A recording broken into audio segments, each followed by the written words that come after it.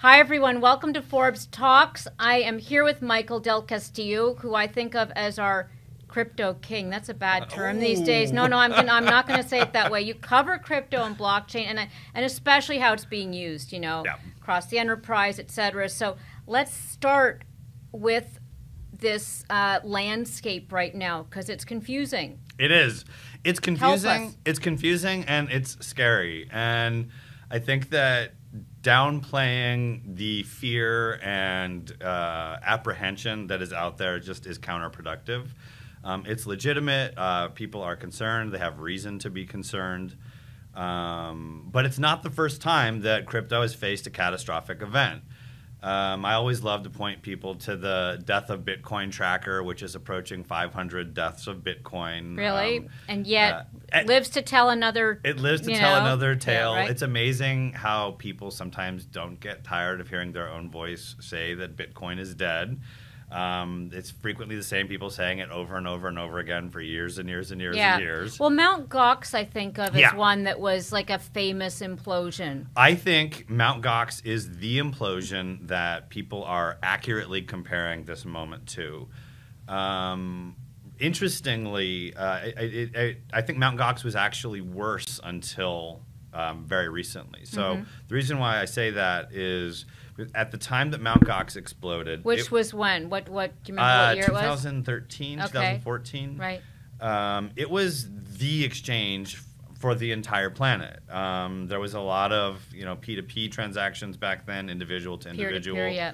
Um, but the exchanges themselves were almost non-existent. Mt. Gox had, depending on how you count it, um, between 70 and 90 percent of the global volume was going through that one exchange. So when it exploded, it was a massive percentage of the entire industry that went down with it Yeah. and and it and the industry emerged. In fact, uh, Coinbase was a direct result of that. Kraken was a direct result of that. These centralized exchanges that had um, institutional um, checklists to make sure that they were taking care of their customers. That that layer of maturity emerged from the Mt. Gox collapse. Um, and we've seen time and again collapse after collapse after collapse that the open source nature of crypto means that the developers in the space identify the problems that the the nearly catastrophic collapse um, uh, came from, and they write solutions for them. Well, it's interesting though because you know, unlike let's say a financial, um, you know, collapse. Yeah. You, know, you get the regulators come in, and then there's new laws. There's Sarbanes Oxley, or there's you know, Dodd Frank. Because this is a space where the regulators are just kind of coming to terms with it, what does a fix look like? Like what really changed? Was it more transparency Good. and more controls after Mount Gox? Um, so I think the exchange, the changes after Mount Gox were, yeah, they were they were institutional grade. Uh, people with suits and ties. Sorry, crypto geeks, but um, not you and not me. then. people So, with yeah. people with MBAs and suits and ties uh, who knew traditional accounting practices, um, who had worked at uh, publicly traded mainstream financial companies that got involved and built um, solutions that were designed to fix the Mt. Gox problems, and they largely did so. And Coinbase is a multi-billion-dollar company as a result of the problems that they fixed. And and let's jump ahead to the gift that keeps on giving, which is of course Sam Bankman-Fried, Yes. FTX, dominating the news. Maybe we should start with like what what are the ripple effects we're seeing right now, and and any sort of discussion as to what needs to change next.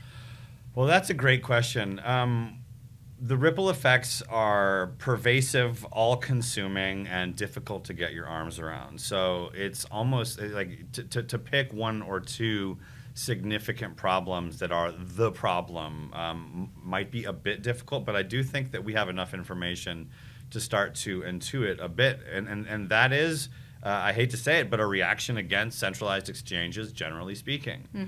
Um, the lessons that the cryptocurrency community is learning from this are that if if the cryptocurrency is on a centralized exchange, it is not their cryptocurrency. It is that exchange's cryptocurrency.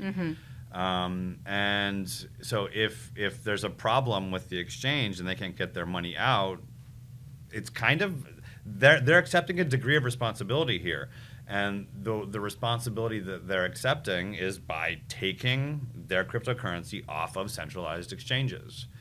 What's the alternative? That sounds like chaos. Not to have, I mean, like not like I, like I, not to have some sort of centralized, transparent way to even gauge. So interestingly, it is counterintuitive, but the alternative, which is called a decentralized exchange, is actually more transparent. Um, and we've seen some evidence of resilience of these decentralized exchanges that is actually greater than Such the as resilience. what? What's a decentral? Give us So an the, example. the one, one one of the biggest places to go that's like a truly open source um, financial infrastructure that individuals can use without having to ask for permission Mm-hmm. is Uniswap. Um, and I like to think of Uniswap as um, a, a, a common base layer of a centralized exchange, but that has then been turned over to the public.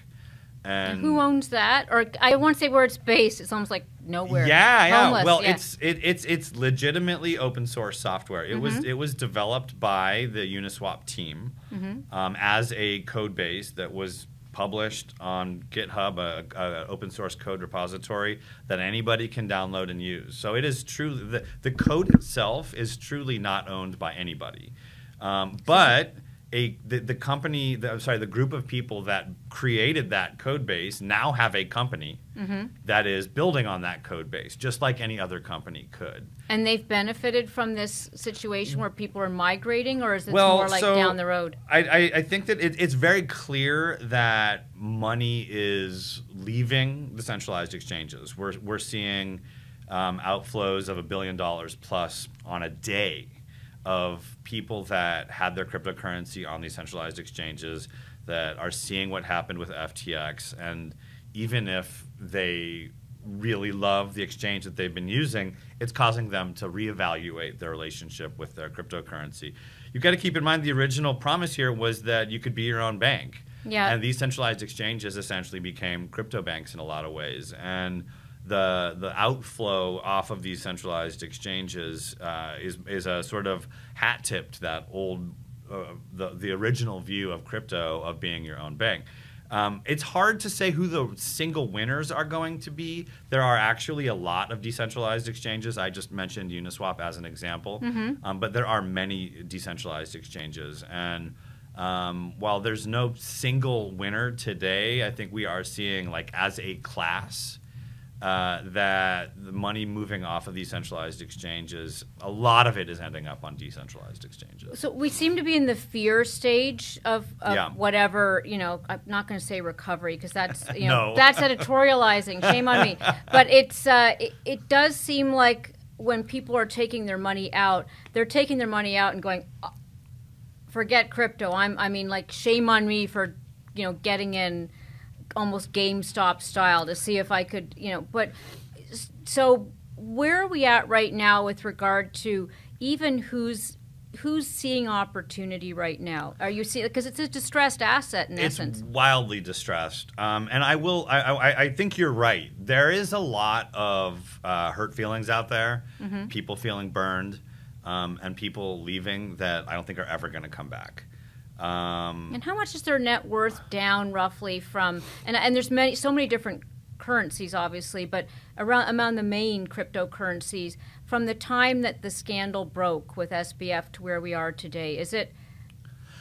So I think the easiest way to talk about that is um, the the net market value of all of the major cryptocurrencies. Um, that at its peak was about three trillion dollars, um, and today it's at less than a trillion. Um, so more than two trillion dollars of value has gone And, away. and is there a, a flight to quality in my mind? Is is Ethereum, Bitcoin, or is that again a misnomer because those are the ones that also grab the retail investors who then get out quickly? Great question. No, I, I think that the, the flight to quality is um, a good way to put it, and I think that Bitcoin and Ether are among them. Um, though there are many other um, Ethereum competitors that I think have really proven themselves to be worth taking a closer look at. Um, I really do think that while the the fallout is being reflected in the value of the cryptocurrencies, um, it's more being reflected in the movement from centralized exchanges to decentralized exchanges. And also, I should throw out there um, hardware devices that are designed to not have you use an exchange at all. Um, we're seeing a lot, an uptick in sales in a lot of um, basically USB sticks that are designed to hold your Bitcoin private keys. They have some elaborate ways to prove that you are the, in fact, the owner of those private keys before you're allowed to Right. have access to your funds. Um, those are the winners. I, I, I think that, um, in fact, the relative decrease in the price of Bitcoin specifically um, shows a resilience. Um, we've only seen the, the, the asset drop by a couple thousand dollars, um, and that's to say from like 20 down to 16, 17 on any given day. Um, and I actually think that decrease is relatively small considering the, the sheer ramifications of the rest of the fallout. Um, which to me means that a lot of people, while while they're concerned about crypto generally speaking, um, they're more concerned about the way that these companies were set up, and they want to see that change. You know, prior to this, again, I don't want to make this sort of like a you know before and after um, SBF, but we did see this almost um, institutionalization around crypto of, of countries. Uh huh. Was it Ecuador that was you know Yeah. kind of like going big, and and, and then. You know, a lot of the uh, banks talking about it in a way that was different and more Yeah. accepting. Has that backtracked at all, or any of thoughts as to this? Um, you know, not so much democratization as as really maturity. To your point, that it could be in the enterprise. Are they now like glad I stayed away from that? So, um, the first part of your question, uh, I think that we we are in fact seeing some reactions against the air, the, the the industry, the crypto industry, we'll call it, by institutions. Um, a lot of the institutions were investors in FTX Yep. and lost a lot of face. Um, we're starting to learn that it seems like there was a decent amount of groupthink among those big names, um, Including pension funds. pension right? funds, uh, hedge funds, um, multi multi billion dollar companies that seem to have been group thinking with their their participation in the FTX ecosystem. There was very little due diligence. Um, a lot of people that didn't want to miss out on the the golden boy image that Sam Bankman-Fried brought. Um, but I was kind of shocked after in, in the weeks after the fallout. Um, myself and our Forbes Digital Assets team were hitting the phones, um, interviewing um, C-suite and uh, chief developers at some of the biggest financial institutions in the world as mm-hmm. part of the vetting process for our mm-hmm. blockchain 50 list, mm-hmm. and almost without exception, they their projects were going on unchanged. Um, what has changed over the years is these institutions are kind of shifting away from what we used to call enterprise blockchain or distributed ledger technology similar to blockchain, but that doesn't have a cryptocurrency, um, to public blockchain projects that don't ha- that are that are that are faster and more private than they used to be. So the enterprise blockchain world emerged out of institutional distrust of public blockchain because it, they couldn't protect their customers' privacy, which they were uh, regulatorily obliged to do. And these these public blockchains were doing seven, eight, nine transactions per 2nd not even close to the volume that these institutions needed. And so they built uh, versions of blockchains without cryptocurrencies that solved both those problems. Um, seeing big companies like Goldman Sachs, J.P. Morgan, Societe Generale um, doubling down on their projects that are using public blockchains that um, simultaneously are faster and more private than they ever used to be is really the direction that we're seeing the movement. Um, I, I was surprised by that. Uh, I, I really was expecting to hear that our projects are being killed. Our projects are being killed. Well, you did write about a project that was just, if not killed, delayed, which is the Australia Yes. Securities Exchange. Now, that may be a different situation. In fact, the the the death of the ASX project, and I think it is dead. Oh, six years. Yeah, of- and that was of the the enterprise blockchain type. That was of the blockchain type that this these um, infrastructures were created to give institutions some of the same promises of network effects that blockchain provided, but in a way that they could control. Now, ironically, by by holding on to that control, they lost a lot of the network effects. ah, Um, they had can't to- have it both ways. they did. They had to pay their own um, cloud infrastructure costs. You know, they had to pay Hmm. a lot more out of pocket to maintain these um, relatively small networks, you know, with like 5, 10, 15, 20 companies on them. Um, and now that the privacy solution and the speed solution exists for public blockchains, uh, these companies are sort of reevaluating a lot of that Can- work. I, I don't want to conflate blockchain with crypto because you know, in some ways, I've always thought of blockchain as something that could you know transform supply chain management, Mm-hmm. et cetera. Crypto is that one that feels more risky. You know, no central bank. Are they? How much? I mean, you seem to be intertwining them to some extent. Um, is that what companies are doing now in terms of their approach? So I think of blockchain as um, a neutral ledger technology. Yeah, And- distributed. Yeah, uh, you can build cryptocurrency with blockchain. You can build NFTs with blockchain. Um, you can create a version of the internet without centralized servers, powered by distributed networks of computers using blockchain. Um, the so when if, if I say blockchain, I'm usually talking about all of that. Right. Um, and our, our our annual list that reviews these uh, these projects are application neutral. So we are looking at cryptocurrency. Even Bitcoiners hate that we call Bitcoin cryptocurrency. They say we're not a cryptocurrency. Bitcoin is different than all these others. What do they call it? Bitcoin is Bitcoin. Crypto is everything else. Hubris, it's so hubris. it's Right? There's there's a lot of um, linguistic games to try and create distinctions, um, but for me, like blockchain is a base layer behind the scenes application neutral infrastructure that you can do all of these different things on top of. So you talked about some structural issues that were fixed with Mt. Gox. Like Theranos, you know, the whole FTX situation seems to be in some ways potentially, allegedly classic fraud. And and so does that really it, it doesn't you know, a Ponzi scheme is a Ponzi scheme, fraud is fraud. Of course we don't he'll have his day in court.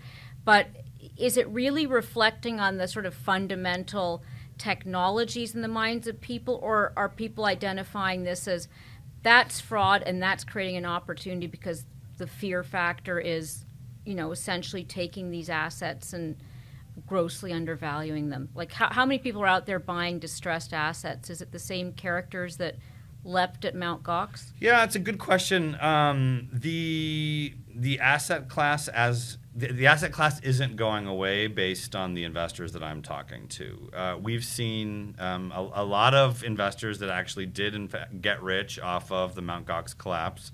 Uh, they bought promises um, to be made whole uh, from people whose money was trapped on Mount Gox when it collapsed at a massive discount. It's almost like buying bonds at a discount. When, It yeah. is, yeah. And when when when um, Mt. Gox collapsed, Bitcoin was I'm just making this up. We'll say six hundred dollars. Right. Um, with the appreciation of Bitcoin, even though what was left over was a tiny fraction of uh, what was lost, all of the Mount Gox uh, losers, so to speak, ended up being made whole, or, or I believe will eventually end up being made whole. Um, the same same wish is happening right now. The, a lot of the investors that uh, got rich off the Mount Gox demise are shopping for distressed assets. Um, What about the blowback with, uh, you know, government now paying closer attention to this? Let's look out to next year. What do you predict is going to happen? Uh, I- predict. What are you seeing? We're not soothsayers here. Uh, yeah, I'm definitely not a predictor. Uh, been around too long to make predictions about the industry.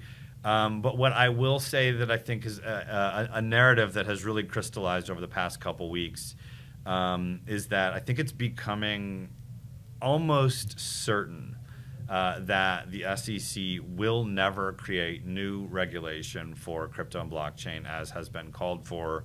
Um, for Why uh, not? for 10 years. Uh, they have always argued, except for one or two holdouts, uh, they have uh, almost exclusively argued that the current regulations are fine. That securities law is securities law is securities law, and it's not a question of trying to create uh, a third category, you know, security, non-security, and crypto, um, but just figuring out which crypto fits in which of the existing categories. Uh, Gary Gensler, the chair of the SEC, um, is aggressively going after FTX after sitting on his hands for a little while, seemingly getting the lay of the land, um, and has made it very clear that they are ready to act on other um, bad players in a similar way that they are acting on FTX. And But- that is without changing the regulation. But caveat emptor is sort of his his like you know if you want to be in this space, don't look to us to Well, yeah, I mean, you. they've been they've been saying for years, uh, you know, if you want to be in this space, come to us and ask for permission. You know, let's do it the right way, um, and then consistently not giving that permission. Um, so it seems i- i- it's it's now starting to look very likely that the SEC will never change the regulation, may never give that permission, and is just waiting for the industry to implode. Which okay, so that there you go. Um, I want to look talk more broadly about digital assets because NFTs, you know, is that suffering the same fate? I, I know that the Taylor Swift fracas raised the you know conversation again about why don't we have NFT Yeah. tickets, et cetera. What's happening in that part of the industry? Um, NFTs are, I think they were already hit before the collapse Because of the Um, economy, or Uh, I think because of the hype cycle that applies to pretty much every new technology, I think they just like they had that giant explosion. They're somewhere in the trough of despair right now. Um, but there's some really interesting stuff going on there with figuring out ways to actually implement some of the promises uh, that royalties could be paid out using automated um, contracts written into these NFTs. I still think that's a really cool possible future, though it turns out the promises uh, are a lot further off than, than we originally thought they were. Um, and I think NFTs, you, you mentioned the tickets application. Um, people were furious at Ticketmaster for botching the, the, the Taylor Swift concert. Um, and it definitely reminded people that there's an alternative. Um, there's a way to prove that uh, a ticket exists only in one place at a time without having Yeah. to rely on a Ticketmaster. yeah, or a bot can't get it as easily as a person. Indeed. You know. Indeed. Um, w- now, so let me just put myself as we again for this year ahead in different roles, and let's put myself. I'm, I'm an investor, and again, you're not giving me advice, but what should I be watching on the landscape in terms of, you know, either significant developments or or signals that um, people should be watching for? Because there's an exhaustion around just looking Oh, yeah. at SBF. Like, so let's separate from that. What else is on your radar? so this is kind of i think the the worst news so to speak um, from from my perspective um, I, I mentioned earlier on that every collapse and every recovery has felt different and you don't get thick skin because it's different attack vectors Right. um, this feels different to me in a way that could imply a longer recovery than we had to wait for the other bears. So, um, Because the damage is so great, or Yeah. the because the damage is so great, both from an infrastructure perspective. I mean, if you've seen the the sheet of FTX and its subsidiaries, it was just like this behemoth with like kind of like 50 Enron, isn't it, with special I've purpose seen side by sides with the Enron specs, and Enron was actually less complicated at the time of its Really? collapse than FTX was at the time of its collapse. So, like, it wasn't just FTX. You know, the, the, the there there were customers of these subsidiaries and customers of those customers that um, have have lost their confidence. They've lost their enthusiasm. If they were building, maybe they're slowing down their building. Um, and and and the the reputational damage beyond just the uh, the business relationships themselves that were destroyed I think is is even worse. Um, and it's so pervasive. Uh, it- the, the the result of um, FTX being shuttered is that Binance is now transacting about 70% of all crypto volume, which, if you'll remember, was roughly the same volume that Mt. Gox had. So now we're talking at a percentage risk that is as big as Mt. Gox, um, but with much more people paying attention. And I think that that that's leading to just so much caution. Um, it's it's worth noting that just coincidentally, um, we are coming out of one of the busiest venture capital rounds in the history, venture capital years in the history of crypto. So a lot of these people don't need crypto to be doing well. They have war chests to build for years, and some of them have runway that could be a, a decade or longer. So while while I, I do believe that this bear market is probably going to take a longer time to recover from than last bear markets, years, Years. yeah, years. Um, I, I, I I would say two to three, maybe even four years um, before people have gotten over the shell shock of this moment. Um, but those runways for those companies that raise that capital, um, led by in many cases brilliant CEOs doing really cool stuff, is are long. And as uh, consumers, uh, investors, retail investors, and institutional investors alike start to heal their wounds, um, we will see the results of these giant venture capital raises starting to bear fruit. So it's going to be fascinating to see what happens in three to four years from now um, when hindsight of this uh, collapse uh, coincides with the launch of the technology that's being built right now. Could be very interesting. in the same way that people say you shouldn't time the market because you know um, even the most brilliant people aren't good at it is this the same situation because one of the questions people have and it's what people are telling you should if you have your little residual you know cryptocurrency left should you be getting out like if it's four years of misery you know go put it in an whatever inflation adjusted bond or without giving advice, what are what are people saying, and what's sort of the general chatter around that? So um, I do want to start by saying that uh, a lot of my readers love this about me. A lot of my readers hate this about me. Um, but I committed to my readers in 2014 that I would not invest in crypto. yeah, which um, gives you a clarity of I thought. like to think it does. Clarity of thought. I like to think it does, but um, I don't have skin in the game in that Mm-hmm. sense.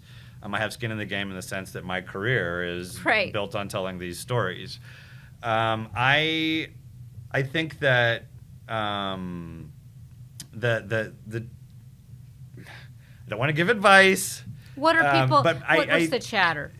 People are getting their stuff off exchanges and they're not selling it. Um, So you I- get it off an exchange and you don't sell. So let's say you've got something on Coinbase. That seems like a level of sophistication that would in, almost preclude the retail investor. I like being able to call up uh, my bank if I forget my password and you know get a, a, a password reset. A lot of people like that, and they're happy to continue working with the Coinbases and Krakens and Binances of the world because you get customer support. Um, but I think a lot of people are going to do the cost benefit analysis and decide that you know having somebody to call when things go wrong on one level, on an individual level, isn't worth the risks of having things go wrong on an institutional level. Right. And they and instead of selling their Bitcoin, instead of exiting, though we are seeing some of that. Like I said, there's there's some folks with a lot of hurt feelings Yeah. that are, are, are burning the bridges on their way out. Right. But there's a lot of others that are just they're learning a different lesson. They're learning the lesson that they don't want their crypto on centralized exchanges.